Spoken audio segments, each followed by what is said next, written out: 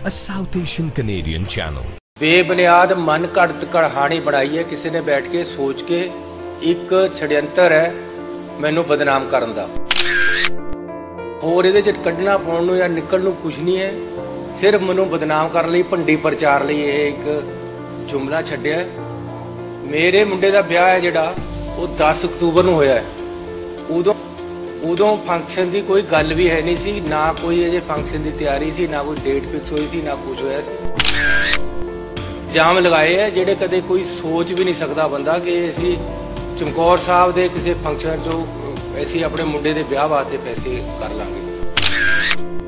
Vigilance ਵੱਲੋਂ ਜਦ ਤੋਂ ਮੈਂ ਉਤਰਿਆ, ਉਦੋਂ ਤੋਂ ਹੀ ਤਿਆਰੀਆਂ ਆਰੰਭੀਆਂ ਹੋਈਆਂ ਕਿ ਜੇ ਇਹਨੂੰ ਕਿਸ ਤਰ੍ਹਾਂ ਫੜਨਾ ਹੈ। ਪਹਿਲੇ ਦਿਨੇ ਮੈਂ ਮੂਸੇਵਾਲਾ ਸਾਹਿਬ ਦੇ ਘਰ ਗਿਆ।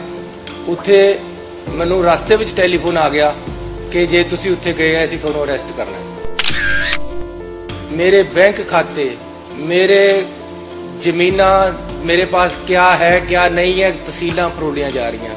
ਲੋਕਾਂ ਤੋਂ ਪੁੱਛਿਆ ਜਾ ਰਿਹਾ, ਹਰ ਤਰੀਕੇ ਦੀ ਤਹਿਕੀਕਾਤ ਜਿਹੜੀ ਚਾਰੇ ਪਾਸੇ ਮੇਰੀ ਵਿਜੀਲੈਂਸ ਜਿਹੜੀ ਹੈ ਉਹ ਕਰ ਰਹੀ ਹੈ। ਸਰਕਾਰ ਕੋਲ ਹੋਰ ਕੁਝ ਹੈ ਨਹੀਂ, ਸਿਰਫ ਇਹ ਹੈ ਕਿ ਜੀ ਸਾਰਾ ਦਿਨ ਖਬਰਾਂ ਦੇ ਵਿੱਚ ਇਦਾਂ ਦੀਆਂ ਗੱਲਾਂ ਚਲਾਈ ਜਾਓ। ਇਹ ਕੋਈ ਕਰਪਸ਼ਨ ਮੁਕਤ ਪੰਜਾਬ ਨਹੀਂ ਹੋ ਰਿਹਾ ਕਾਂਗਰਸ ਮੁਕਤ ਪੰਜਾਬ ਕਰਨ ਦੀ ਕੋਸ਼ਿਸ਼ ਕੀਤੀ ਜਾ ਰਹੀ ਹੈ A South Asian Canadian channel.